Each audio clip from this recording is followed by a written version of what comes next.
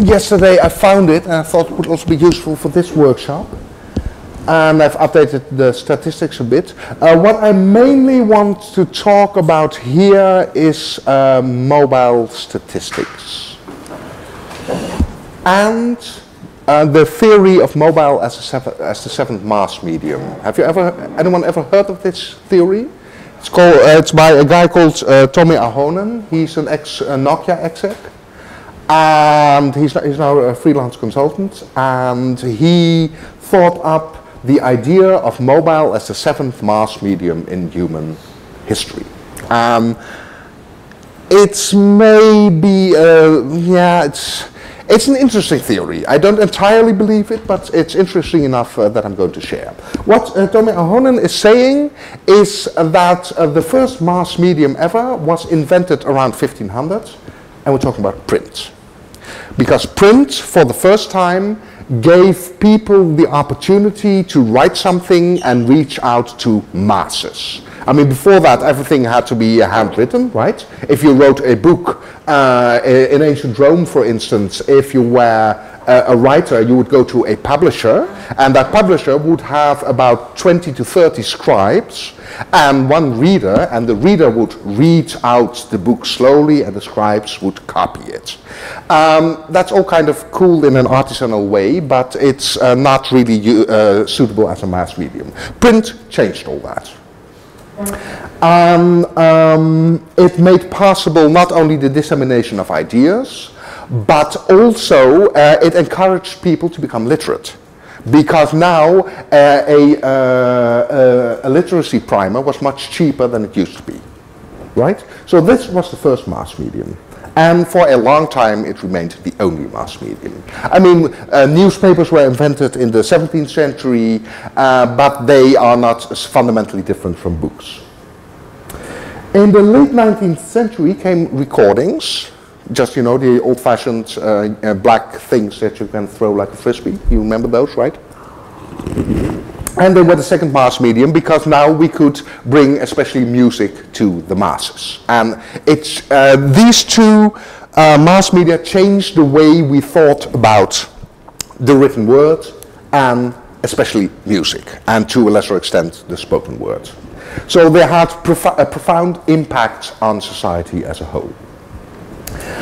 Along came cinema as the third mass medium. And of course that was uh, used to create films. Now the interesting part, uh, if you uh, look at really, really early uh, movies, say from 1900 to 1910, uh, what uh, the early movie directors did was taking stage actors to the screen. And the problem was that back then, um, stage acting was very over the top. I mean, you were supposed to do this and that and talk to people like this and really show your, your heart and uh, throw it out into the audience because this was a way of doing it. And it was partly a fashion back then, uh, uh just a theater fashion.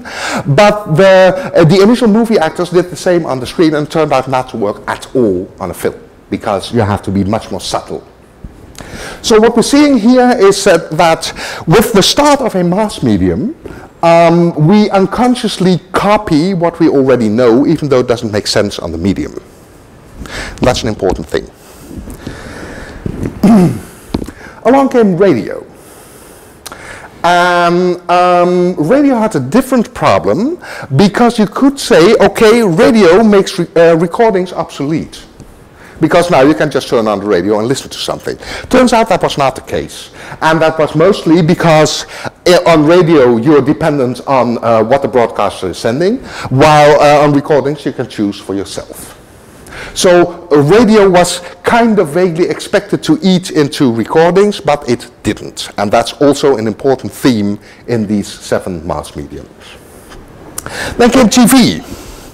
Um, originally, again, people expected TV to eat into the market share of both radio and cinema because we can now combine radio and cinema and give you something new in your own home. Turns out, again, that, that was not the case because there is an important social aspect to cinema that's mostly lacking from TV. Because you go to a movie together, right? You meet up with a few friends, you choose a new movie, you go to the cinema, and you have some popcorn, and you have a Coke, and you sit down, and it's a social aspect to that uh, that TV didn't quite replicate. Then came the internet as the sixth me uh, mass medium and again, it was expected that the internet would eat all the other mediums because you can read online, you can listen to something online, you can see films online, you can even listen to radio and watch TV online. Again, that's not really panning out. I mean, uh, of course, uh, the printed book is in trouble. We all know that, you know. Uh, uh, bookstores are closing down, uh, publishers having less money. But the question is, will print as a mass medium actually disappear entirely? And personally, I don't think it will. Though it will become more of a rarity, more of a collector's item, and more for old-fashioned people like me who grow, uh, grew up with books and still like them.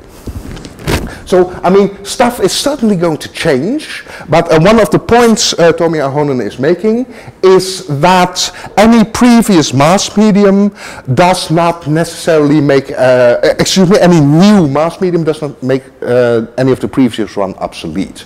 It just changes the way we think about it. And again, think about the early days of the internet right? When we started to create websites in 93, 94, what did we do? We literally copied print design because we didn't know what else to do. It's like the actors, right? It's like the actors in the cinema who just played as if they were on stage because they didn't know what else to do. Meanwhile, while we are figuring out that uh, web design is something completely different from print design, but it has taken us close to 20 years to get to a point where we can now point at the differences. Um, the, oh, I'm sorry. The main point is that um, mobile is again threatening to take over uh, all the other mass mediums, but probably won't. And that on mobile, again, we started out doing the stuff that we were used to on the internet. And um, it turns out, you know, the mobile screen is just smaller. So we've eventually figured out responsive design. But uh, again, it changes the way we think about the earlier mass mediums, but it doesn't make them obsolete. This, in a nutshell, is Tomi Ahonen's uh, theory, and I mention this mostly because it's an interesting way of looking at things. It's a way of figuring out where mobile stands in society. Because mobile is all of the previous ones, plus more, because you can actually talk to people. So with that said, let's take a look at some mobile stats. This is a, a bit of a random presentation. I gave this presentation ori originally for two companies in Holland um, who wanted to know more about mobile. So it's not really technical, but it gives you some background information. I want to talk a bit about mobile stats, because what exactly are mobile stats? Um, the point I'm trying to make here is that as soon as you see any statistics about any aspect of mobile, think very carefully what they mean, what they represent, and what they mean to you as a web developer. Um, because the most important thing for us is to know how mobile is evolving on the web. Um, this is a graph of the number of hits on websites that come from a mobile device. Not a desktop, not a tablet, just a mobile device. And we see that in 2009 it was about 2%, and now in the US it has risen to about uh, 14%. That is, 14 out of 100 people that visit your website use a mobile device. I mean, I don't have uh, to convince you that mobile is important, but the point I want to make is uh, that while in the US it may be important, in other countries it's way more important. What's, oh yeah, first we compare it to the UK, it's roughly the same. I'm not totally sure why the UK is temporarily higher in 2012 something may have happened. Uh, this is one of the things. Um, don't get too hung up on tiny differences like this. It may be a statistical artifact of the way uh, StatCounter uh, gathers these numbers.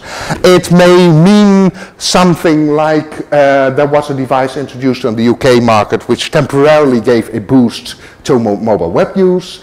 Um, or it may mean, something else entirely. But to you as a web developer, that's not tremendously important. What's important to know is that the US and the UK, and in fact all developed nations in the West, follow roughly the same path. I mean, I expect this line to continue for a while, although there will be a ceiling, right? At a certain point, this line will start to flatten out because a certain percentage of uh, hits on websites will still come from desktop because we all have desktop computers and sometimes it's just more useful to do something on a desktop computer than on a mobile but nobody knows where that ceiling is. I have no clue in any case. We just have to wait and see and find out.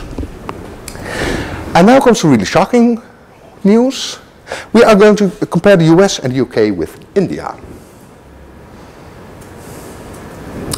And as you're seeing, uh, in India uh, last year, well over one half of hits to websites came from mobile devices, which is way more than in the US or the UK or any developed nation. Why is that? Because the, uh, up until now, the average consumer in India and Nigeria and uh, Indonesia, um, up to a point even in Latin America, they simply could not afford a desktop computer. It was too expensive. But they can afford a mobile phone, especially a cheap mobile phone with Opera Mini on it, for instance. So all of a sudden, they now gain access to the internet. This is not people switching over from desktop. This is entirely new people who so far haven't had internet access yet coming online because of cheap mobile phones and proxy browsers. And that's what's going on in the developing world now. And that is where the really fascinating stuff is going to happen because I think that a substantial number of innovations uh, that we will see in the next 10 to 15 years will actually come from the developing world. Uh, have you heard, for instance, of M-Pesa? Uh, M-Pesa, uh, M-P-A-S-A, uh, P-E-S-A, is um, the most advanced uh, mobile banking system in the world. And it's being used in Kenya, in East Africa. Because up until now, people in Kenya have not had a bank account because they just had too little money. But now they can send money via SMS. So they just send a text message to somebody else and that pays that somebody else a certain amount of money. Even better, the system was originally invented for people who went to the, to the city and made a lot of money and they wanted to send their family at home some money. Now, uh, they could uh, give it to someone uh, so that, that someone would bring it to their mother or their father or whoever, but that depends on trust, right? Some people would just steal the money and never give anything. Uh, using uh, modern banking was not possible because they, uh, especially the people uh, back in the village, just didn't have any banking system whatsoever because they were just not wealthy enough. So they said, okay, you can send it via SMS now. And it will come to your mother's phone. There was a whole campaign, you know, with a, a happy city dweller uh, sending an SMS to his uh, happy mother in the countryside. And this was the way they could send money to their relatives. And even more, um, they could send a special code to their relatives. Their relatives could go up to an ATM without uh, any card whatsoever, type in the code, get money. This is the kind of innovation we will see a lot more because up until now, Kenya and countries like it have not had a banking system.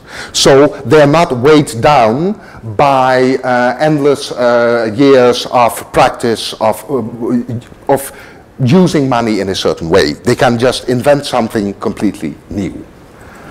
So that's the really uh, interesting and important thing that I think is going to happen with mobile especially in the developing world.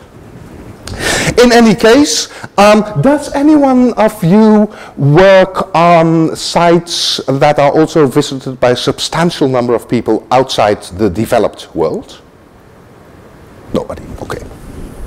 Um, keep this in the back of your mind. Eventually, at least some of you will get a request, hey, I want to roll out this uh, service in India or Indonesia or China or whatever. Remember that mobile use there is way higher than we used to and that the mobile browsers they use over there are way different than ours. Mostly because of the proxy browsers I explained earlier. Let's take a look at some market shares. Um, these are sales market shares. Uh, it's all for 2013, full year 2013. Well, no surprise here, Android takes the lion's share, 78%, uh, and iOS 16%, and the rest is almost irrelevant. Again, these numbers come from Tomi Ahonen, the same guy as the seventh uh, mass medium. This is interesting. And you should definitely kind of follow sales stats around because it will tell you what's going to come.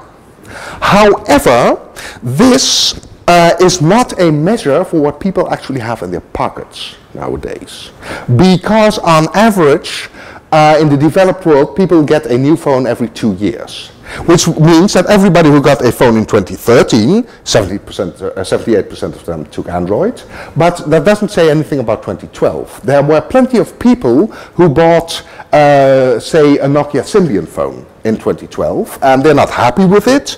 And when, they are, when their contract is up for renewal, they will certainly get an Android, but for the moment, they still have a Symbian phone in their pocket. And if they want to surf the mobile web right now, they will use that Symbian phone, which has different browsers than the Android phones. So that's how we come to the installed base market share. That is basically what do people have in their pockets right now. And you will see that the Android percentage is distinctly lower.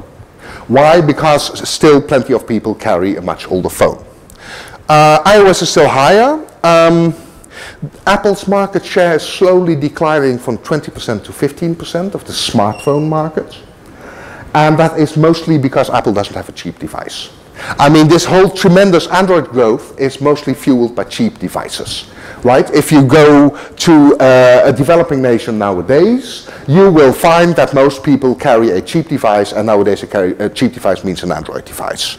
Uh, there used to be the Nokia S40 uh, feature phones, uh, but they've fa fallen out of favor, and people use Android. And the point to remember here is that a lot of this growth is actually fueled by developing nations buying cheap Android phones. Which also points to another problem. These are global statistics. And global statistics are kind of interesting and I like them, but they do not necessarily apply to the US or to any other country. Because I don't have the numbers, because uh, these numbers are hard to come by, but uh, I'm fairly certain that the iOS uh, sales market share in the US is quite a bit higher than 16%. Um, okay, so we have sales, which is kind of interesting and points to the future. We have installed base, which tells you uh, what people have in their pockets right now. But by far the most important metric for web developers is, of course, browser market share. And this is the browser market share of 2013. And as you can see, it's completely, completely different from the desktop. The biggest browser in 2013 was Android WebKit, which is the old default browser on Android. Second biggest is Safari. Third biggest is actually Opera, and Opera here means mostly Opera Mini. These are the people in developing nations that I keep talking about that browse the web on their cheap phone with Opera Mini. They are responsible for these hits. Then we have the UC browser in China, right? I mentioned it already.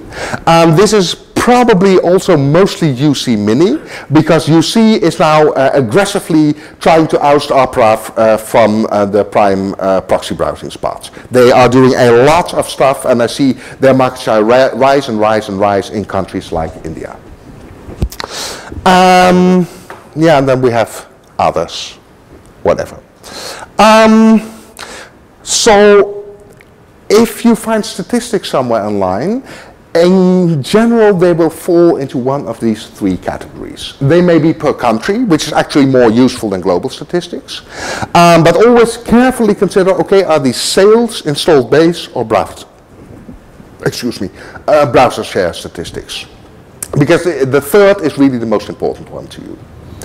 Currently, I know of only a single source for uh, global uh, mobile browser, uh, uh, browser shares, and that is statcounter.com.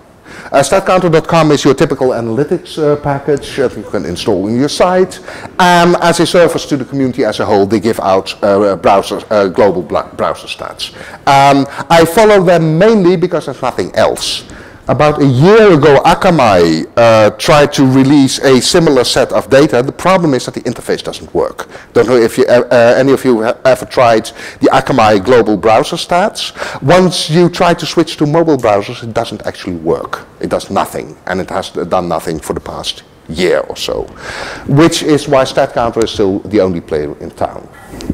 So let's look at a few StatCounter things. Uh, this is the global market share, right? Now let's take a look at the US. Completely different. Safari has well over 50%. Android, which is the old Android browsers, 33, and Chrome is only at 5%. People tend, uh, web developers especially, tend to think that most Android users use Chrome yet nowadays. That is not true. Even worse, I will talk about browsers later, and we'll see that most of this Chrome is actually not Google Chrome, but another Chrome. So don't set too much stock on your testing on Google Chrome. I mean, it's useful to have around, and you should certainly test in it, but it doesn't necessarily say a lot about non-Google devices. And that's one of the tricks of the mobile browser market you have to learn and the rest in the US is minimal. Now let's take a look at India. Completely different. We see that UC is now narrowly larger than Opera. Again, this is UC Mini and Opera Mini, right? There's a battle of the proxy browsers being fought here. And what they basically try to do is offer uh, device vendors or carriers a good deal. They say, okay, we want to be on your device. I think that's UC strategy now, especially, because if a uh, device that you buy already comes with a decent proxy browser, you you will not download another one right? So um, this is, it, it, can be compared a little bit like the old situation with IE on Windows, right? IE gets delivered together with Windows, so back in the day most people didn't, didn't look any further and just used IE. The same up to a point happens with mobile phones, because the average consumer will just take the browser that's already on his mobile phone and will not download another. We as web developers download a lot of browsers because we like that, because we want to compare that, because we have our own favorites. The average consumer does not. There's only one exception to that rule, and that is downloading a proxy browser if the device you have does not already have a proxy browser. That is something that consumers will do because it saves them money. But the average consumer doesn't really care about the difference between Android WebKit and Chrome and Firefox and all the rest. So we still see Android, again, the old Android browser still having a decent market share. And there's a lot of other browsers. Safari, 1%. IE, 1%. And what's the, uh, Chrome, 1%. So the, what we think of as modern browsers are irrelevant in India. Again, I'm showing these statistics mostly to uh, have you encounter uh, how mobile works in other parts of the world if you ever start working on a mobile website that's meant for another country, uh, carefully look at the browser statistics because they will likely be completely different than the ones you're used to in the US. And of course, the absolutely most important thing you can do is look at the server logs of your clients. Which browsers already come to their site? If for some, oh yeah, nice story. And this was years ago, mind you. And um, uh, a friend of mine who uh, was a mobile web developer even before the iPhone uh, was asked to create a website for a company that stripped buildings ready for demolition. That is, uh, the building was emptied uh, by the leaser. This company would move in and strip everything and after that the building could be demolished. And they wanted a website. So this friend of mine started thinking, okay, what's the use case for such a website? And she thought, you know what's go probably going to happen? There's some kind of, uh, I forget the word, but uh, some kind of investor or something who thinks, okay, I want to uh, demolish this building and, uh, and uh, set up a new one. So he enters the building and sees, okay, it has to be stripped. So he looks uh, takes his mobile phone out to search for somebody who can do that to him. And back five, six years ago, what kind of mobile phone uh, would such a person have? A BlackBerry, because that was still the business phone. right? So she uh, assumed that BlackBerry was really important for that uh, client, and she made sure that her site worked perfectly fine on all the BlackBerries. Turned out she was completely right. More than half of the total visits to that site came from BlackBerry. Not mobile visits, total visits which only goes to show that sometimes websites have completely uh, different uh, browser ma uh, market uh, patterns than others. I mean, all these global uh, stuff that we saw, it's interesting, you should definitely follow it, but if you have an actual client that actually asks you to help with his mobile website, always ask for their server logs and try to analyze them and try to figure out what they are getting. Another useful trick once you're uh, doing the server logs, is to compare the numbers for the home page, or another very important portal page, to numbers of deeper lying pages. You will often find that there are discrepancies between the two. For instance, that the home page gets 7% uh, Opera Mini, I'm making this up, but any following pages only get less than 1% of Opera Mini. Uh, that likely means that in the process of navigating from the home page to another page, Opera Mini users encounter problems and stop using the website. So it might be useful to take a look at that and to figure out if you can do something about those problems without uh, spending too much budget. Uh, these are the tricks you have to use. So always take a look at the server logs of your clients. If you don't have them, which occurs, uh, look at your country's general stats from statcounter.com. So the US stats, basically. Um, because global stats aren't going to tell you all that much uh, for the US. And global, use global stats only if uh, all else fails. So this is how you figure out which mobile browsers actually visit your client's site. Then a brief word about mobile context, which, oh yeah, I'd forgotten this slide. According to Tomi Ahonen, uh, mobile has eight unique abilities uh, that uh, cannot be duplicated anywhere else. First of all, a mobile phone is intensely personal. It's yours and yours only.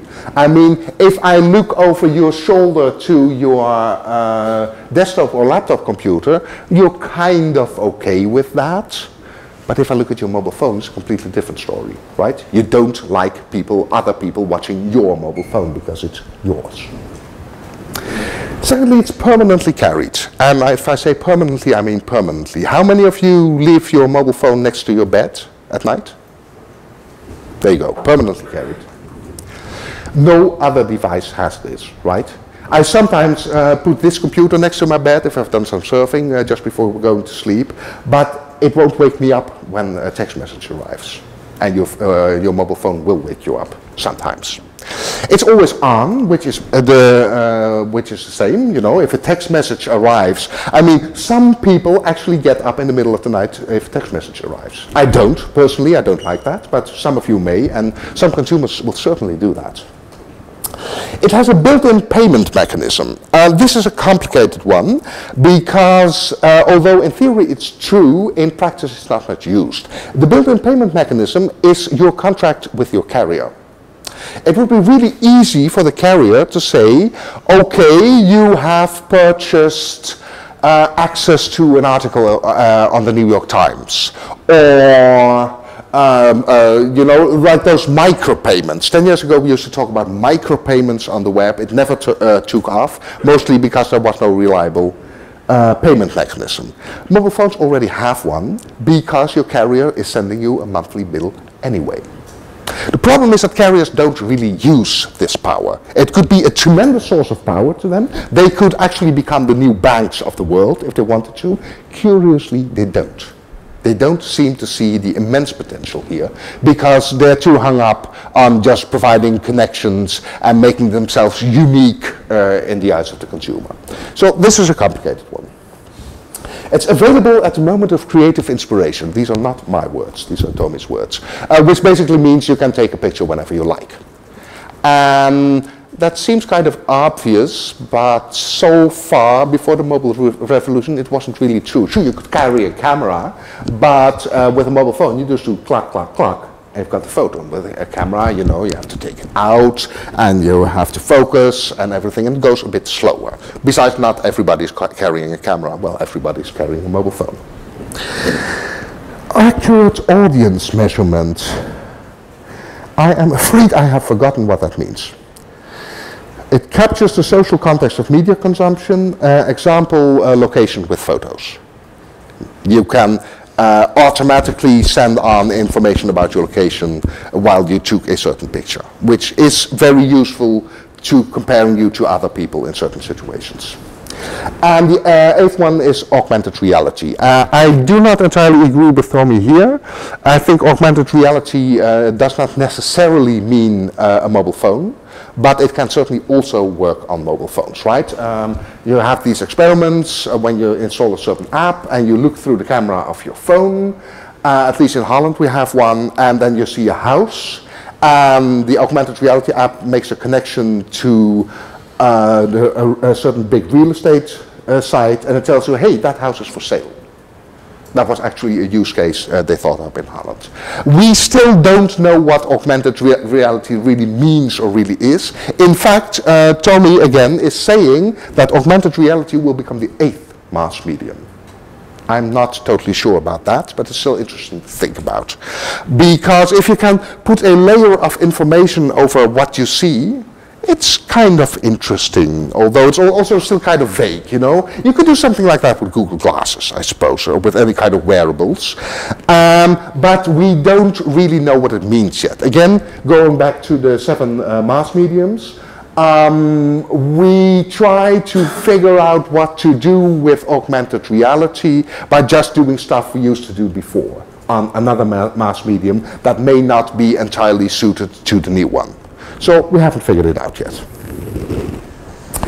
Um, the mobile context does not depend on your device, but on your situation. This is an old theory, uh, like uh, the user goes to the station because he wants to catch a train, and the mobile device detects his, uh, his position and uh, uh, automatically offers departure times and platforms so that the user can see them at once. This was the old theory. It turns out that this is nonsense. Mobile context does not work like this. Problem is, I can't tell you how it does work because we don't know yet. Again, we are looking at mobile through the lens of things we learned before mobile was there.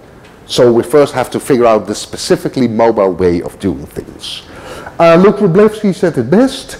Uh, what was formerly the mobile context is becoming increasingly difficult to define. Context can't predict the way a user is going to use a site. Right? If I am at the station and I'm going to the railroad company's website, it does not necessarily mean that I want to know about departing trains could be that I want to uh, uh, find a ticket price.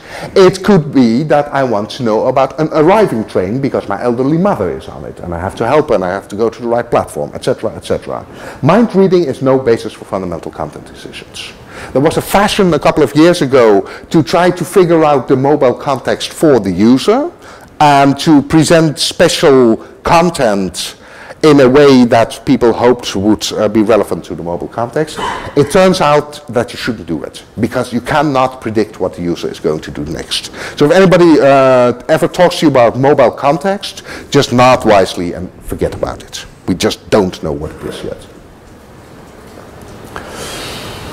Um, yeah, we are copying the desktop web right now on mobile. I mean, even with responsive design, what we do is in our mind, we think about, okay, here's how I would do it on desktop, but mobile si uh, screen size is smaller, so I have to put this on top and that below.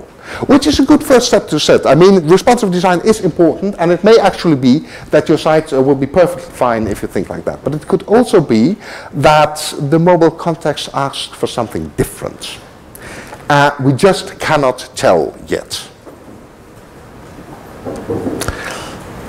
Uh, and let's think about tablets. The tablet context is likely to be different than the mobile context. I mean, what was the story again? There, were, there are only three ways of holding a mobile phone. The first one is like this. The second one is like this.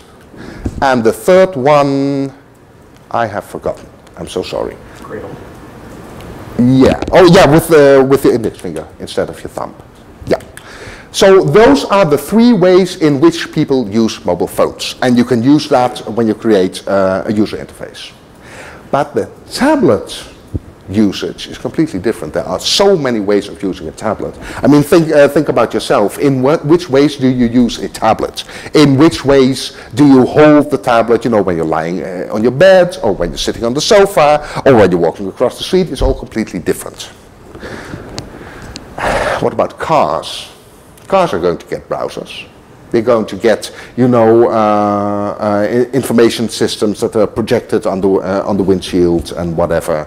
But I recently talked to somebody who knew somebody who done some research in that.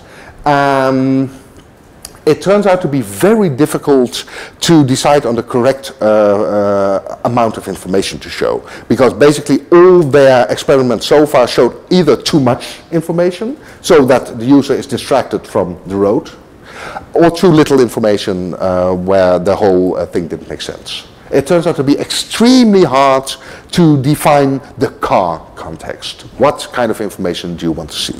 We'll hear more about that.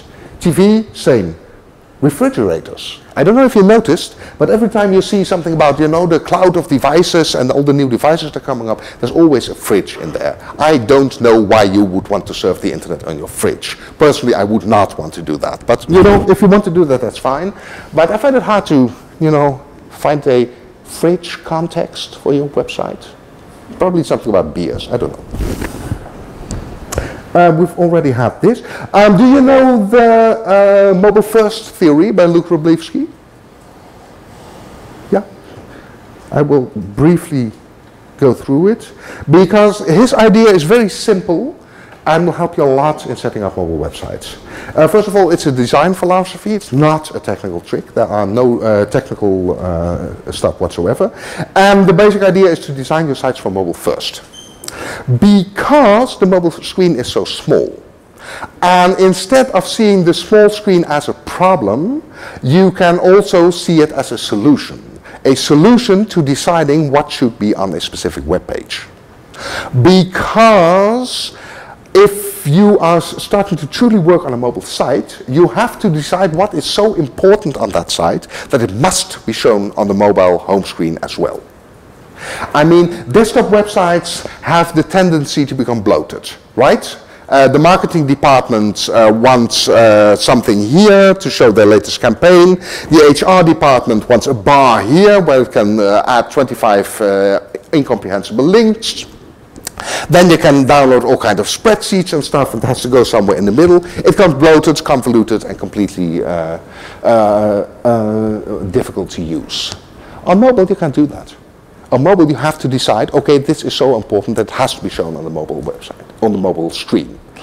And once you've done that, once you've figured out what is so important, it usually turns out that the things you did not select don't have to be on the desktop uh, homepage uh, either, because it's just not that important. Uh, this is again a new way of starting to think about mobile web design. So make a list of features and items that are on your current homepage, remove all the features that are not important enough and make difficult choices here. And um, in the end, it will help your website a great deal. Uh, oh yeah. In general, um, it's useful to place a navigation at the bottom of the page instead of at the top of the page. Why? Because if I go to a page, I want to read that page. It's like walking into a store and then a clerk coming up to say, hi, you can also go to the coffee shop and there's a great bookstore at the other end of the street. And what you could also do is walk uh, a block and a half and there you will find a nice restaurant. That doesn't make sense. You come into a store in order to buy something at that store. It's exactly the same for a mobile web page. You come to that web page in order to see the content on that web page. And that means putting the navigation at the bottom of the page and not at the top. Uh, either Luke or Ethan calls it a pivot point. You have read the stuff that you came to read. Now you may want to do something else on the site.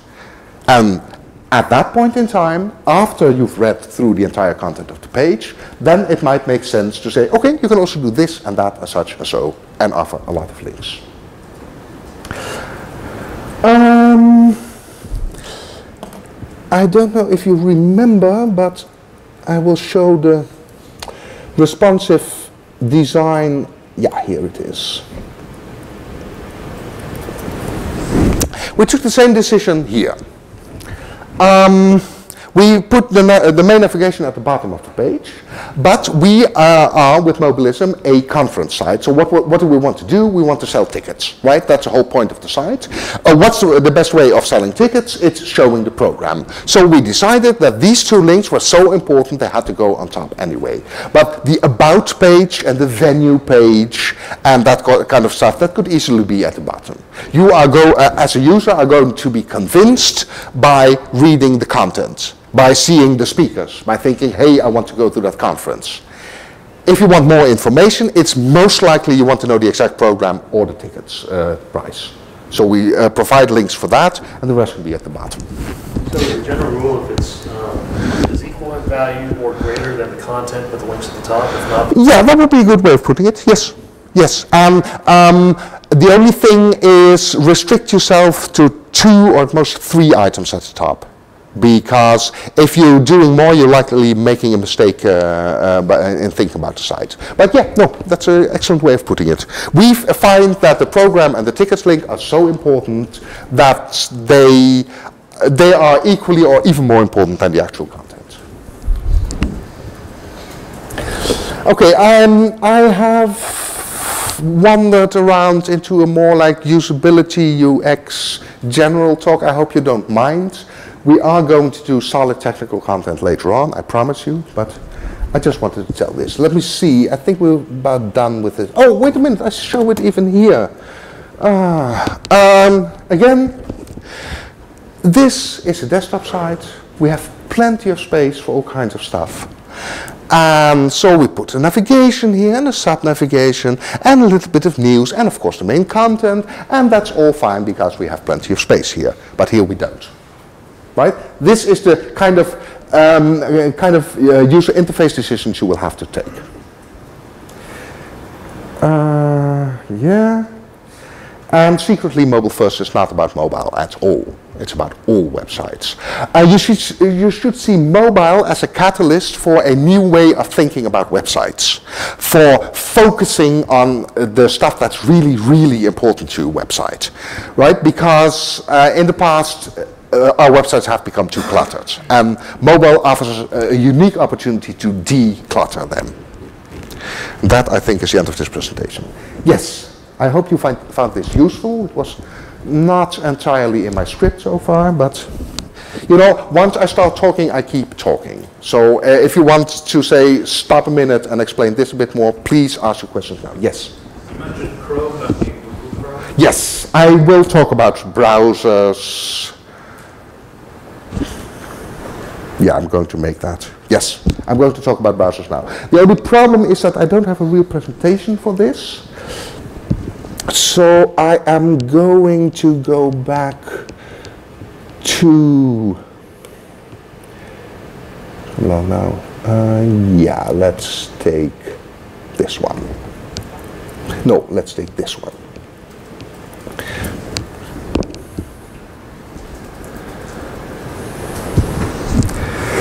I'm going to get a glass of water and then I'm going to talk at length about the mobile browser market. You have been warned.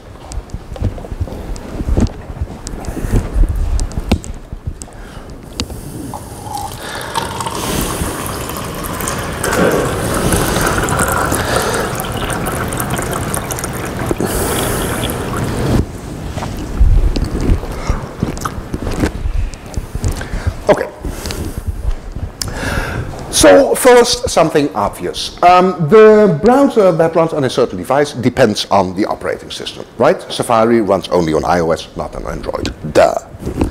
Um, the problem is that while iOS and the smaller uh, operating systems have their own default browser and nothing much else, Android is much more complicated. So actually, uh, I think about 78% of this talk will be about Android. But let's start with, uh, with the easy stuff. Uh, iOS, Safari, obviously. The point is, and people tend to overlook this, that it is not possible to install another browser on iOS.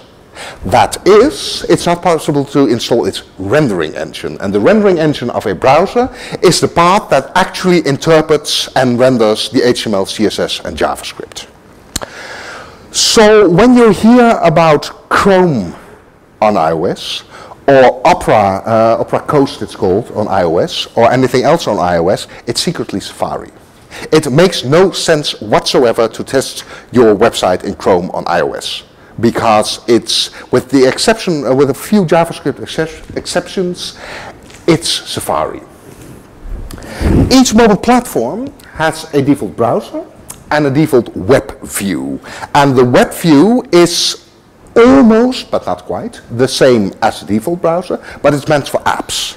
If I have a Twitter client, uh, the old Twitterrific used to do this, and I click a link uh, on, in a tweet, and that would open uh, in a special pane in Twitterrific, uh, but it was a web page, so they needed an actual browser to show it. That browser is the web view. It's not exactly the same as the default browser.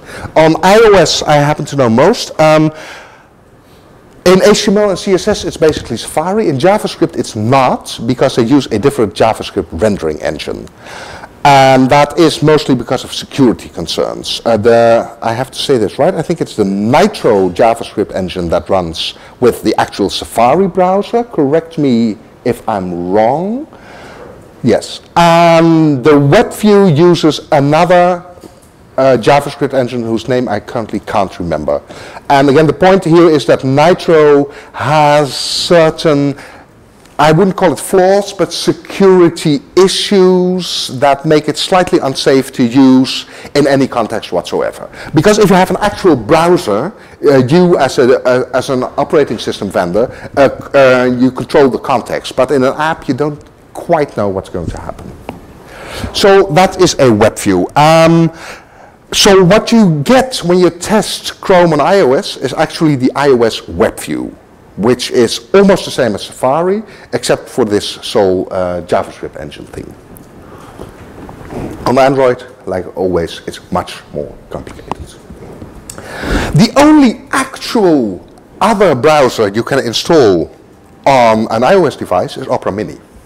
Because Opera Mini, the client, does not contain a rendering engine because the rendering engine is on the server.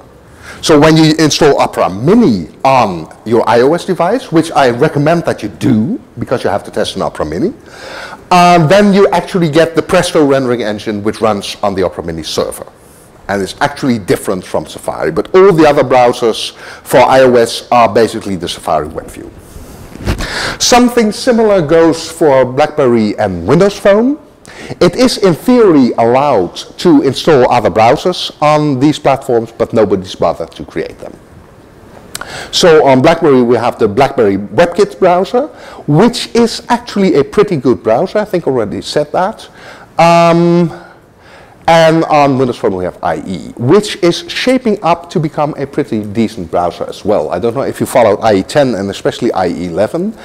They are squashing bugs like mad and it's becoming an actual browser. The only problem is, and I'm going to talk about that mainly uh, during the uh, touch pointer events presentation, is that they do some stuff different than the other browsers. They've always done that, but now they have good reasons. And that's something new. Back in the day, it used to be, we want IE to be different because we want IE to be different, right? Nowadays, um, I will talk about that more during the touch and pointer events presentation. Okay. So that's iOS, BlackBerry, Windows Phone. It also goes for the uh, few minor operating systems that still survive, such as uh, Nokia Symbian. They're not really important anymore. Android. Oh my, oh my, Android. Okay. So a smartphone needs a browser, right? So uh, at the very beginning, the Android team said, hey, we need a browser, we are going to create one. WebKit based. I should talk about that as well. Um, there are four rendering engines right now. WebKit, Blink, uh, Gecko of uh, Firefox, and Trident, the IE rendering engine. All browsers in existence uh, are based on one of those four rendering engines, except for Opera Mini, which is still based on Presto. And Presto is the old Opera rendering engine which they used before switching to Blink. Blink is a split off from WebKit. Uh, up until about a year ago, uh, Chrome used WebKit, like Safari does, like most mobile browsers do. But uh, Google decided that the pace of change was too slow, and they decided to split off their own rendering engine. So at the very start, WebKit and Blink were just about the same, but now they're slowly diverging. So um, that uh, basically means that you have to test in all browsers, but you were already doing that, right? Second, the second point about WebKit uh, is really important. Uh, it's that WebKit is very changeable. That is, um, there are all kinds of switches and things you can set and besides, WebKit is not a uh, true, uh, a, a, complete browser. It's more like a rendering engine. Again, uh, rendering the HTML and CSS and JavaScript. And what we're seeing there is that if you want to implement WebKit on your specific device, then you have to make sure yourself uh, that it actually connects to the screen because there's no actual uh, way of showing the WebKit rendered page on the screen unless you write one because everybody's uh, uh, graphic layer is diff different, right? The Android graphic layer is completely different from the iOS one, completely different from the BlackBerry one. So you have to write that for yourself. You have to create a network stack uh, in your mobile phone, which basically means HTTP, TCP, and IP. That's not very difficult, but you still have to do it. So you have to kind of uh, encircle WebKit with all kinds of components that you write yourself. Uh, and that is mainly the reason that no single WebKit browser is equal to any other WebKit browser. Please do not make the mistake of thinking, I am testing in one WebKit browser, Safari, so I cover all other WebKit browsers. You do not. There are vast differences. Um, an additional problem with WebKit was that all these platform-specific stuff uh, they were writing uh, needed uh, some extra code within the WebKit base itself. So even Safari nowadays, uh, the Safari WebKit implementation contains uh, quite a few lines of code that are actually meant for BlackBerry and that are simply not being used on iOS at all. And the opposite is also true. The BlackBerry WebKit browser also contains uh, iOS-specific code. Um, I think this was mostly uh, due to mistakes in uh, the early days of creating WebKit. They, um, it's, uh, this is one of the reasons that uh, Google wanted to split off Chrome from the main WebKit trunk and create Blink.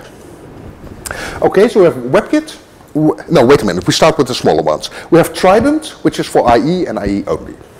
We have Gecko, which is mostly but not entirely for Firefox. Um, it turns out that a very few mobile browser vendors do use Gecko, and that is mostly the UC Mini uh, browser that we saw earlier. Uh, UC is weird because they have a full browser and it uses WebKit and they have a mini browser and it uses Gecko. Don't ask me why, I don't know, just to make it complicated for us web developers. And then there's the Nokia Xpress uh, proxy browser, which is meant for old Nokia devices and it also runs on Gecko. So it's Trident, that's Gecko. Presto, again, the old Opera rendering engine is for Opera Mini and for, uh, yeah, they call it Opera Classic now. You can still download Opera Mobile 12. I have no clue why you would want to do that, but you can and still runs on Presto. Uh, Opera up to 12 is Presto, Opera 14 and beyond is Blink. Because when Google decided to split off Blink from WebKit, uh, pretty soon thereafter, Opera announced that they were going to go over from Presto to Blink.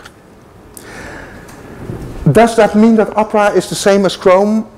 Most of the time, but not entirely. This is, in fact, one of the other things I'm going to test in the future because uh, there are several implementations of Chrome, Chromium, Blink, however you want to call it.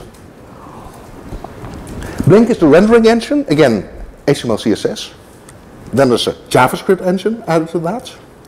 And that is all encapsulated within Chromium, and Chromium is Google's open source browser. You can download Chromium and make it your browser. And lots of people are doing that nowadays. Chrome is Google's specific implementation of Chromium. This is complicated, but you need to know because right now Samsung is also creating its own Chromium-based browser. This is the Samsung Galaxy S4. Its default browser is Samsung Chromium 28, which means that Samsung took Chromium, open source browser, so they can, uh, twisted and tweaked it a little bit and used it as their default browser. Uh, the same uh, is going on at Amazon. Uh, the modern uh, Amazon uh, Kindle Fire browsers are also Chrome-based. I'm not sure when the switchover happened. Opera does it, and Nokia does it on the Nokia X devices, which I have to remember talking about later because Nokia X is the most interesting thing that has happened in mobile in the last year, for reasons I will talk about later. So we're seeing um, a split up into several flavors of chrome or chromium, however you want to call it. I currently do not know how much they differ. The only thing I do know is that I tested an older Samsung Chromium, uh, which was based on Chrome 18. I could compare it to the Google one, and it turns out that the Samsung one didn't support border radius. But it did support border radius top left, border radius bottom right, etc. Why, I have no clue. But this is the kind of minor but annoying things that you can find uh, as differences between the various Chromium-based browsers. Again, uh, this was, uh, will be one of my focal points uh, for fall. I'm definitely going to test uh, these uh, Chromium-based browsers because we need to know about the differences. So that is what has recently been happening on Android. Um, an additional problem is that many web developers think that Android 4.3 and up uh, run Chrome by default. That is not the case.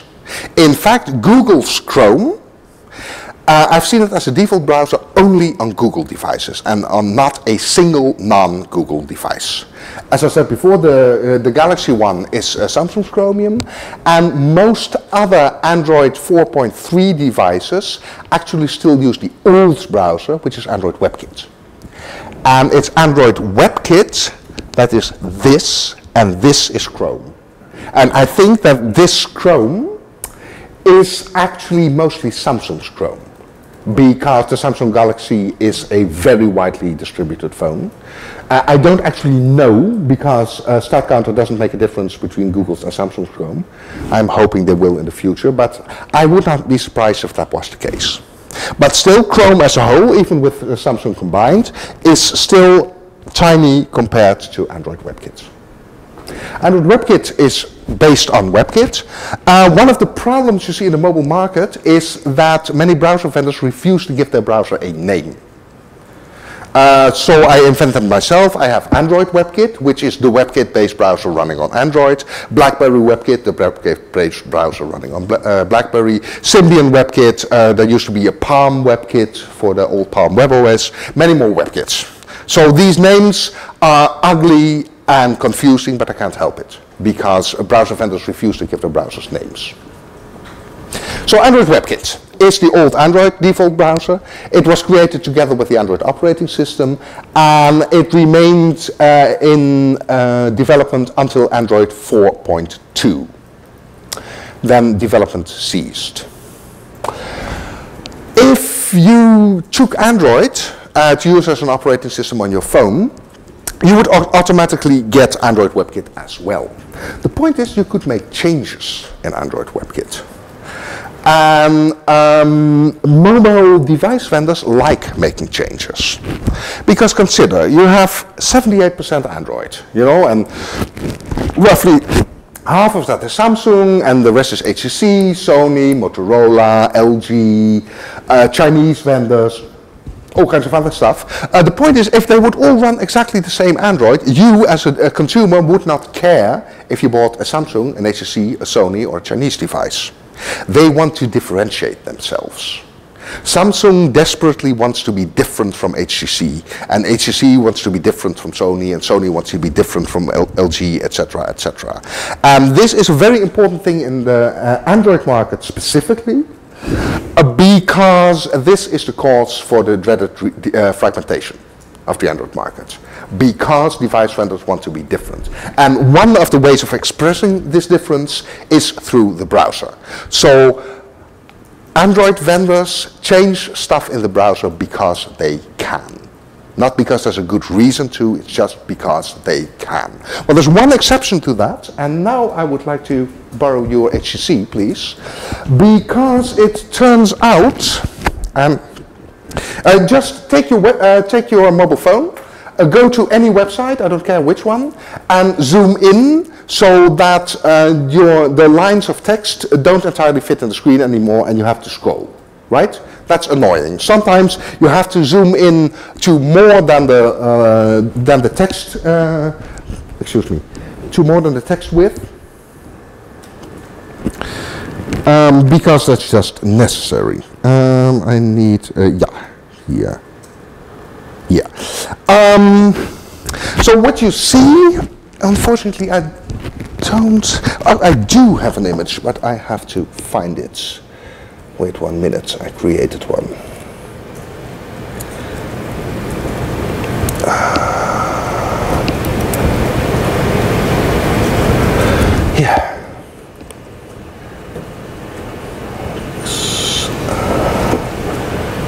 Mobile book. Android chapter illustrations. Yes, I have images for you.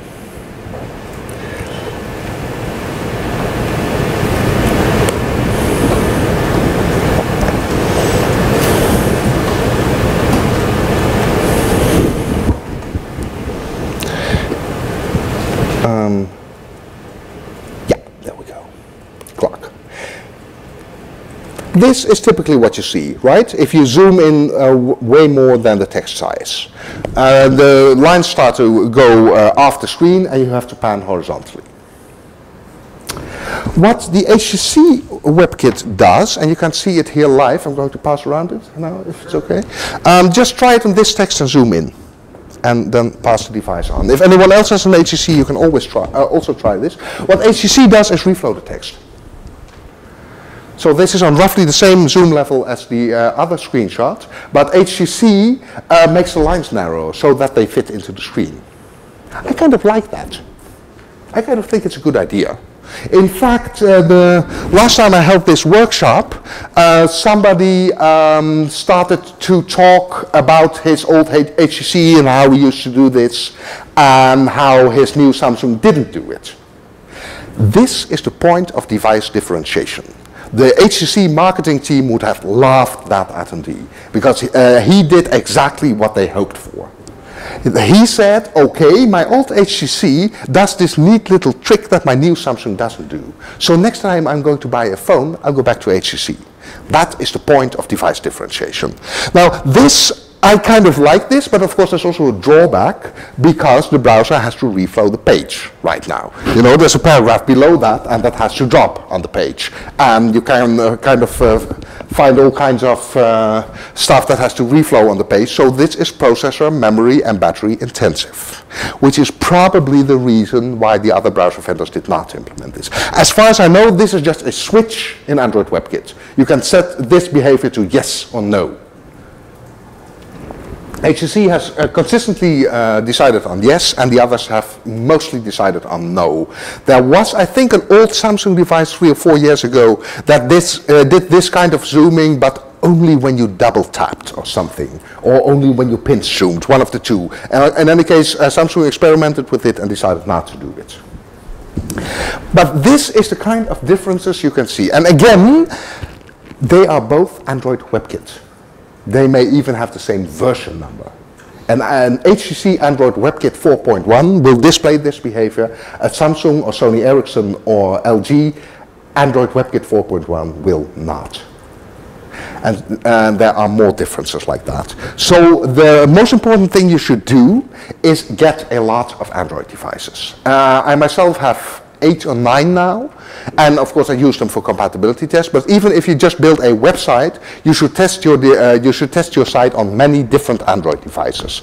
Even though at first sight, it appears to be the same browser because it's uh, the same version number. Right? Android WebKit 4.1 is not necessarily the same as Android WebKit 4.1. And this is very annoying, but it cannot be helped.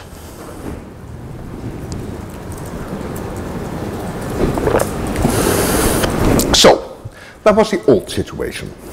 Right, you had Android WebKit and it uh, went uh, along with the Android version numbers, right? Android 2.2 uh, upgraded to browser, 2.3 again, 3, 3.0 uh, again, etc., etc., up until 4.2 or 4.3. Um, then Google decided it wanted to get rid of Android WebKit because it's a distinctly worse browser than Chrome. Chrome is much better, especially in web standard support. There's no doubt about that. So they removed Android WebKit from Chrome, starting with uh, Android 4.4. If you download Android 4.4, you do not get a browser at all. You can do two things. No, you can do three things. First of all, you can take the old Android WebKit and put it on 4.4. I think that's technically possible, but you'd have to do it yourself. Google's not doing it for you again. Uh, the second choice is to create your wholly own browser. Anyone can create a browser for Android, so that's no problem, but it's a huge investment. And the third uh, thing you can do is uh, take Google Chrome. The problem is uh, Google Chrome is bound up in what's called Google Services. Um, you can choose to take the entire package of Google Services, and the most important co uh, component of that is Google Play, the App Store for Android. Uh, basically, if you uh, opt for Google Play, then you also get uh, the Maps application and the YouTube application and Google Chrome. And you can all put them on your device. If you do not want that, if for instance you want your own app store, you can't use any of those. So it's an either or. And you have to create your own browser. And now we come to the Nokia X. Um, the Nokia X was announced in April, early April, just before Nokia was going to be taken over by Microsoft. And it was an Android phone. And that's unusual because Nokia has never created an Android phone before. They've al uh, always gone their own way with operating systems. And me being who I am, I immediately asked, okay, so what's the default browser on this Nokia X? And uh, Max Firtman, uh, he's also a browser uh, researcher, he replied, because of course he's got the Nokia X and I don't, well, it's unfair. Um, Max Firtman replied, yeah, they are trying to create their own Chromium-based browser. But it doesn't work quite uh, good enough yet. For instance, it doesn't have a back button yet, which is kind of a problem in a browser. And um, therefore, next to it, they put Opera Mobile. So the Android uh, X, uh, excuse me, the Nokia X phones come with two default browsers. What I expect to happen is that Nokia will eventually be happy with its own browser and will ditch Opera again. But that's an expectation. But that's not the point. The point of the story is that apparently Nokia is trying to set up uh, an alternative Android ecosystem. They have decided not to use Google services. Instead, they create their own browser. They create their own app store. They already have Nokia Maps. Microsoft has an IM uh, system, etc., etc. Um, it could be that Nokia and Microsoft together are trying to recreate an alternative to Google services on Android. And that would mean that from uh, uh, once that system is fully operational, Microsoft competes with Google on Android. Now that would be interesting, wouldn't it? I have no clue how this is going to play out, but this is the reason that I call the Nokia X line uh, the most interesting thing that happened on mobile in the past year. Because so far, Google doesn't really have competition on Android. I mean, certain uh, companies, notably Amazon, just took Android, created their own operating system and their own stuff. But if I understand correctly, the Nokia Microsoft services could also be used by other device vendors. So if in the future Sony is not so happy with Google, they could decide to go over to the Microsoft services instead. This is going to be really interesting. Uh, browser-wise, it means that we will probably have the Nokia browser, which is Chromium-based uh, in the future, instead of Google Chrome. And again, I don't know how much differences uh, there will be. I will definitely try to find out for you. Okay. Um, then we have minor browsers on Android. Because if you are a minor browser vendor, such as Opera or Firefox, you of course create an Android browser. Because Android has a huge user base and you can um, expect at least some users to try your browser on Android. Um, how much does that matter in practice? Uh, to be honest, I don't know. Um, if we look at the browser statistics again, uh, Opera is big, but uh, that is mostly Opera Mini on the old devices, what I explained before. Firefox is nowhere to be seen. Um, it was above 1% in one or two countries that I studied, but globally it's not. So far Firefox uh, has a, uh, a, tough time uh, gaining traction on mobile at all. Um, and to be honest, I test a lot of other browsers on Android, mostly because just because they're available and you never know what's going to happen. Um, a recent theory I heard is that there's a difference between uh, the Western developed nations and the Eastern developed nations in this respect. That uh, consumers in the Western developed nations tend not to download other browsers because they don't really care about it. They say, well, I've got this browser, it works fine, uh, and then most of them don't even know they can download another browser. Which is why, especially in the Western markets, the most important thing to know is with which default browser does this phone come. Right, so every time you, especially on Android, when there's a new phone coming out and you should support it, um, you should first try to figure out what the default browser is because 90% uh, of the buyers will actually use that default browser. Now it seems that in China and to a lesser extent in Korea this is not the case. I don't know too much about those countries, so I'm just repeating what somebody who does know told me. But it seems that, especially in China, uh, browsers are pretty uh, intertwined with uh, social services. I mean, the Chinese, uh, the Chinese have their own social networks, but they are different from the Western ones, like uh, Weibo instead of Twitter, etc., etc. Um, it seems that they make deals. It seems that especially UC, and to a lesser uh, extent its uh, domestic competitor QQ, um, make deals so that basically consumers download a package, again, which uh, contains a Weibo client and a browser. And that's why uh, Chinese users tend to download more other browsers than Western users do. Again, I'm not totally sure of the facts here. I'm just repeating what I've heard, and I need to hear, hear the whole story in detail, but there's a difference here. What I do know is that uh, South Korea is one of the countries I follow with the uh, browser statistics, and all of a sudden there was a browser called Puffin, Puffin, P-U-F-F-I-N. I downloaded it, installed it. It's a really weird browser. It's, I think personally that it's a hybrid between a proxy browser and a full browser, but I'm not 100% sure. Of course, there's no documentation whatsoever. Why should we? Um, but it has 3% market share in South Korea. You can say, okay, I don't care about that, and if you don't create sites for the South Korean market, that makes total sense because uh, it's not easy to create good websites for this browser. But it does show that something similar like in China is happening in South Korea as well. Again, I unfortunately don't have any more details, but there's a difference here. Especially if you are ever going to create sites that should work in developed uh, Eastern nations, be very careful about your browsers. Make sure that you uh, check the statistics and please do not assume that they will use the same browsers as we do. They don't. And that's the fundamental difference between mobile and desktop.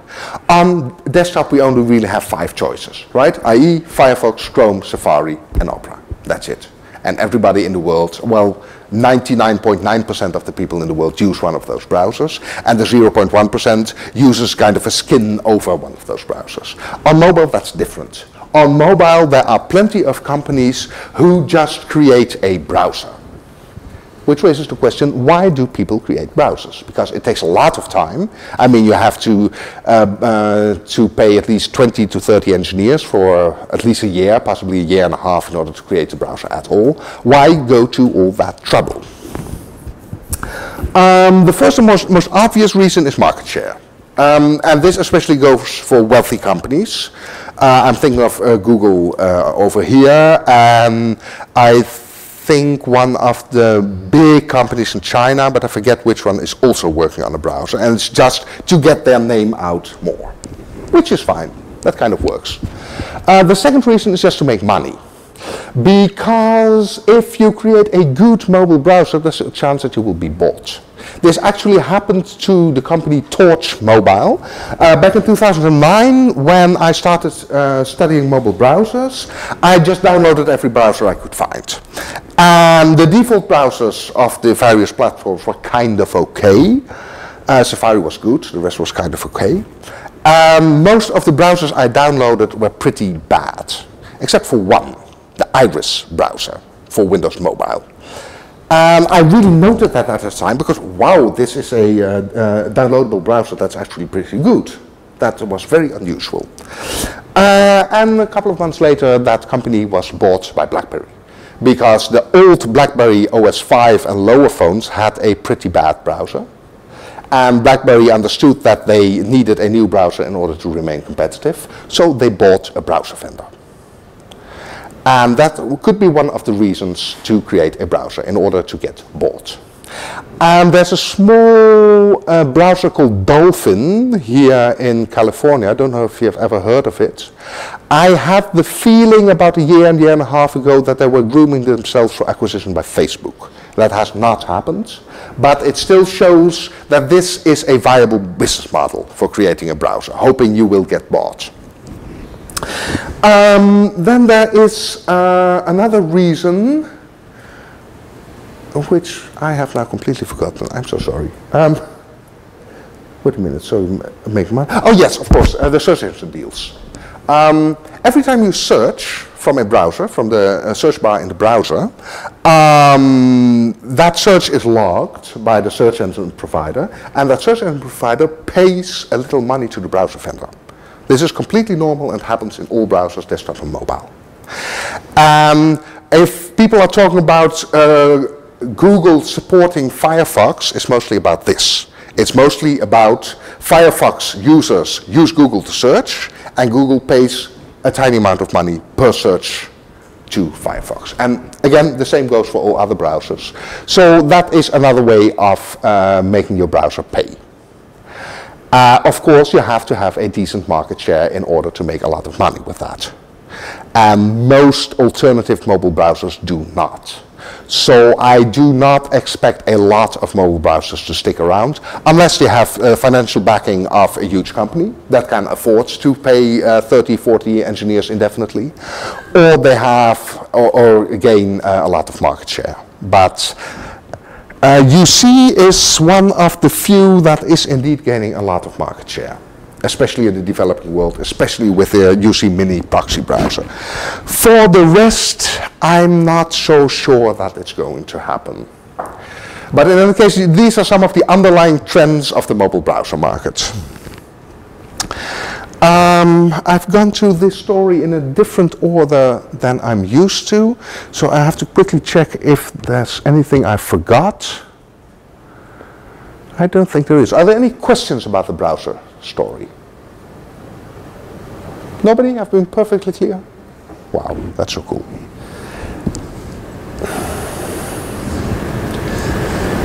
It's 11.55 now, lunch will arrive in half an hour. I personally will have to use the restroom, so I'm going to do that. Uh, let's take a five minute break and then decide uh, where we go next. Uh,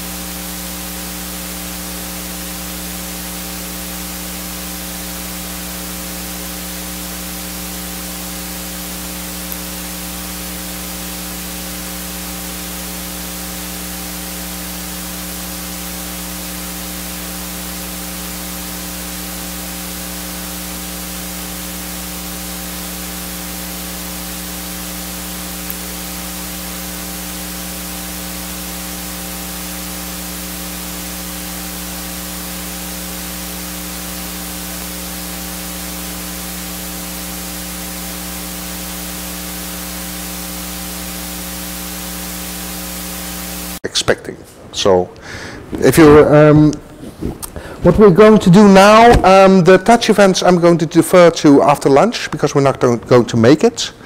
Um, so I'm going to ask you again, are there any things I should talk about? Is there anything you would like to know about the mobile web, the mobile?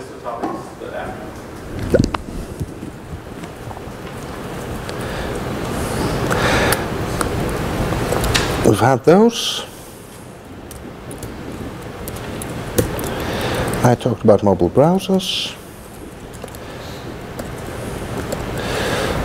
No, put these at the bottom. So I already talked uh, a little bit about breakpoints. Uh, I mainly uh, reiterate Stephen Hay's advice, just resize your browser window and, and when it doesn't look good anymore, it's time for a new breakpoint. I mean, I did a, a survey on my site uh, a while ago about how people use responsive design. Actually, that might be useful to look at. I have to remind myself of the numbers as well. Uh,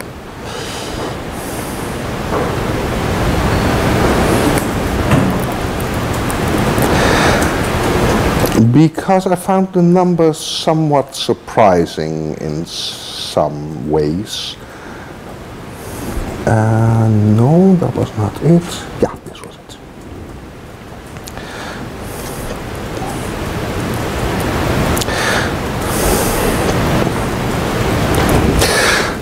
Um, yeah, 1,200 web developers reacted, so I'm hoping this survey is slightly representative.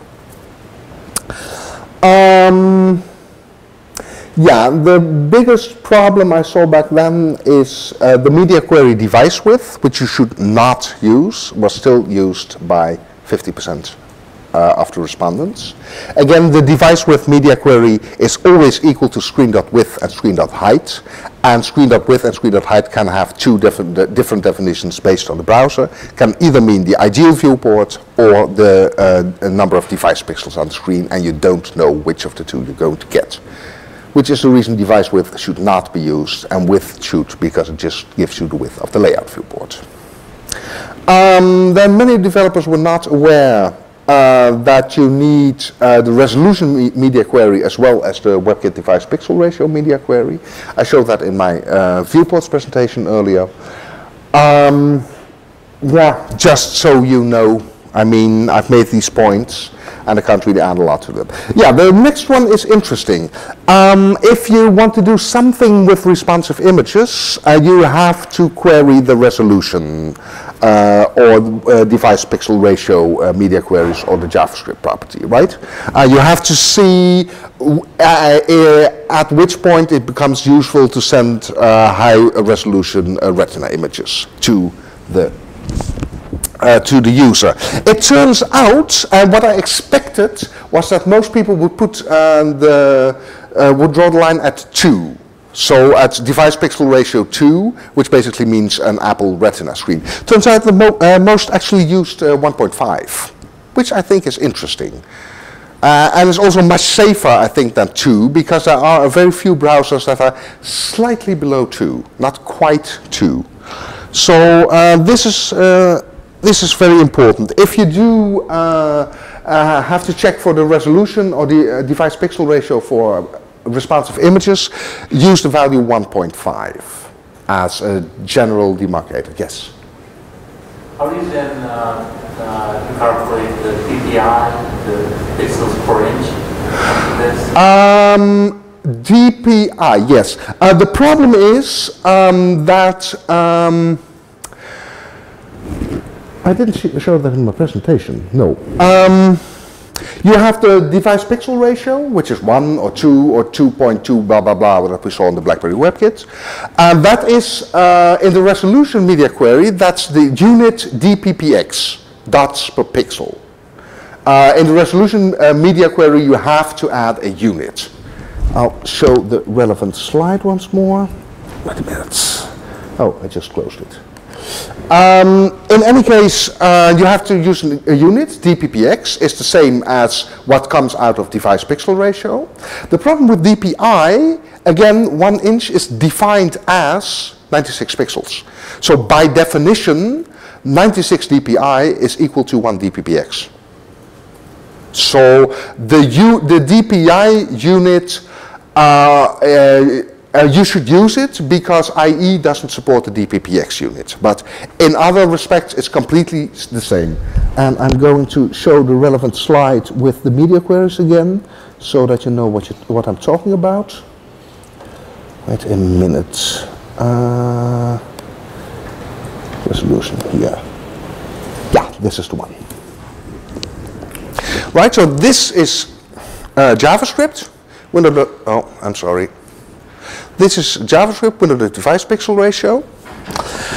Um, this media query, which is for WebKit-based browsers only. Oh, do you have another question? Uh, well, uh, yeah, just I'm trying to understand the, the concept of PPI versus DPI and, one being used. You go to the CSS, um, you have the three different units, right? You do the PX, yeah. you do the EMs, or uh, you do those. And, and how do they relate back to the, the PPIs, the, the device? Um, they don't. Hardware, right? Like, they don't. Uh, the problem is um, when you see the marketing for a new device, they will give you a DPI unit, uh, a DPI number.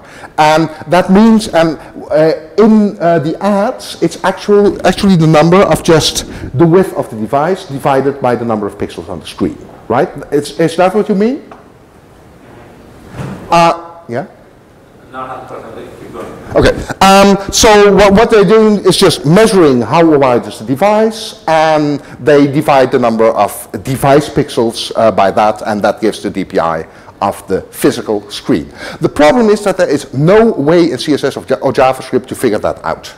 It's just plain impossible. Be At that point, there is this two things, right? There is uh, you take the, the measure the inches, the, the width of the device, and then divide it uh, and find the pixels per inch, right? Yes. Yes. And there is the other uh, variable there, the, the density of the pixels. Yes, that uh, number of device pixels divided by inches gives D, DPI or PPI, one of the two. And that, again, is something that you see uh, in mobile phone descriptions. You will always It will give a higher DPI. Oh, absolutely. Absolutely, no doubt. I mean, the iPhone 4S has a higher physical DPI than the iPhone 3G. Absolutely. Yeah, you could explain like how the DPI relates to your CSS unit. They do not. Ah, that is, that is the problem. There is no connection whatsoever to this physical DPI, right? That's just measuring the screen and dividing it by the number of uh, uh, device pixels. That's one thing. And this resolution that I'm talking about is something completely different. It has nothing whatsoever to do with the physical resolution. Yeah. And that is odd, but it's true. And then when it comes to the images, that were it impacts more, right? I mean, um, this is being used for uh, responsive images. But what you, um, um, so the whole story I told about uh, device pixel ratio in JavaScript and CSS being uh, the ratio between the ideal viewport and the screen size in device pixels. That is all true as far as it goes but there is a kind of a confusion uh, exactly because the physical resolution of the device is different from the resolution in CSS or JavaScript you get. And on the iPhone, it all happens to work, if you know what I mean. On the iPhone, it just turns out that they are mo uh, more or less the same, but that doesn't necessarily go for other devices. So we see a confusion here between the two, but what web developers do is use this uh, to figure out whether to send high-res retina images to a browser or not. And that makes sense because uh, the ratio of the, the, device pixels to the ideal viewport does tell you something about the device. It just doesn't tell you about the physical device. It does not tell you how wide this screen is. And it does not necessarily tell you how many pixels are on it. It's just a ratio. Um, but because the ideal viewport on a retina screen covers many more pixels than on uh, a non-retina screen, which you can see here, right? Um, this is the default situation on uh, any device with JavaScript CSS device pixel ratio 2. This is going to happen, and that means that you can send high-res, uh, that it makes sense to send high-res retina images. Um, but it doesn't tell you anything about the physical device. And that is confusing. Yes, it is. And I'm sorry, it, I can't help it. And um, um, this is the best we can do with CSS and JavaScript. And the whole responsive images technique of reading out the device pixel ratio actually makes sense. But not in a context of a physical device. And I am afraid I can't make it any less confusing than that because it's the truth. Maybe we should talk about this later or something. Do, do you understand a little bit what I'm trying to say? Yeah, yeah, yeah. Okay, cool. So, oh yeah, I was going to talk about the media queries briefly. So we have this, and what I found in my survey is that instead of 2, they use 1.5 here. That's the one thing. And I actually think that's a good idea, so I would give it to you as an advice. Actually, I should change it in this presentation.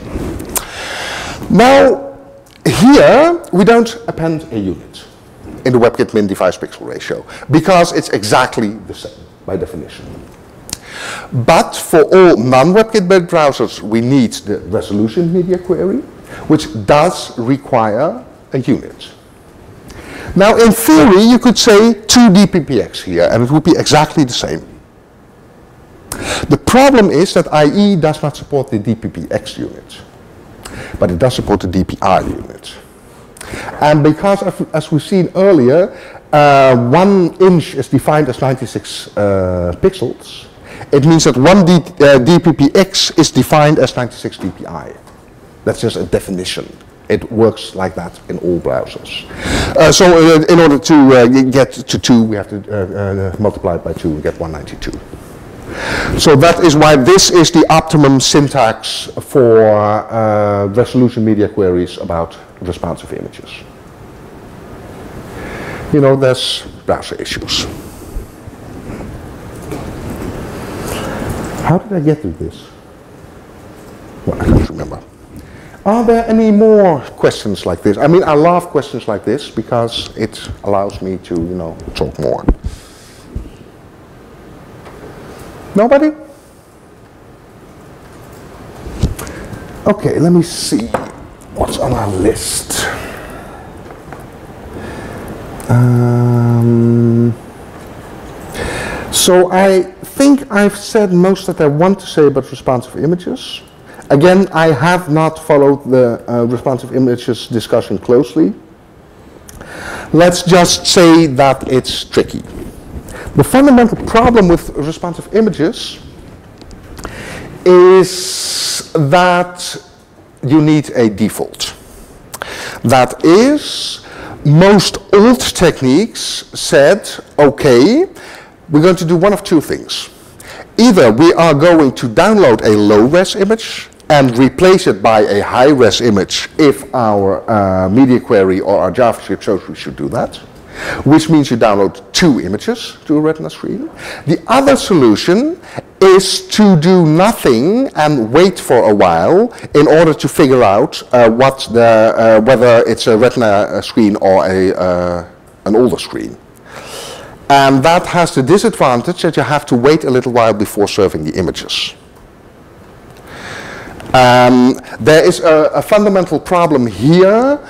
Um, what we would really like to have is for the server to know in advance uh, what kind of resolution the, uh, the uh, browser is on. And as far as I know, there is a proposal to extend HTTP with a header that tells you exactly that. I mean, the problem is the, uh, is the communication between the browser and the server. The browser knows what resolution it has, but it has to tell the server. And so far, that means that the user re uh, requests a web page, the web, uh, web page returns to the browser and has some kind of JavaScript or CSS that goes back to the server and tells the server. So it's an extra round trip.